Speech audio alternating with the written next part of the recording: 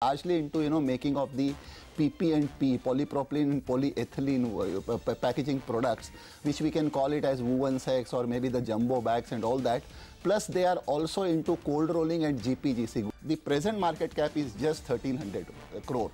That means the book value per share is 115.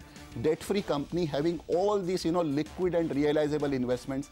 Share is available at 72. So again, coming back to your that range, I have given a target of 100 rupees in next six months.